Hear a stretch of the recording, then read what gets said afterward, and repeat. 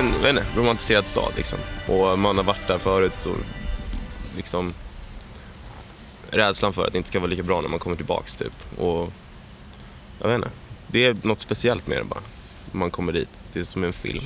Vi vill ju fånga, försöka fånga det vi gör live på skiva och det är väl det vi har eh, gjort med den här singeln skulle jag säga. Och det är väl det vi kommer sträva efter i framtiden också.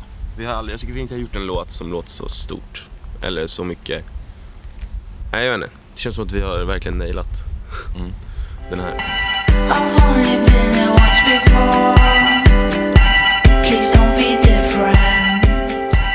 Det bästa med att vara på turné, det är väl ehm, att få spela så väldigt mycket liksom. Det tycker jag är skitkul. Ja, vi, vi har ju mest varit spelat i Tyskland.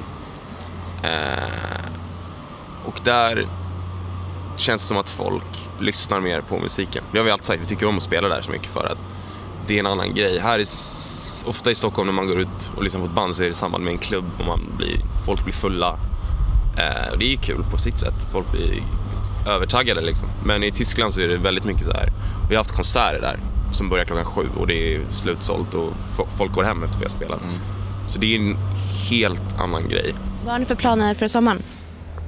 Det blir väl eh, några festivalspelningar och sen eh, några klubbgig. Men eh, det, det är inte så mycket mer än så. Vi, ska, vi håller på att skriva vår nästa skiva och eh, ska spela in den i höst. Så det är väl det största fokuset ligger på nu.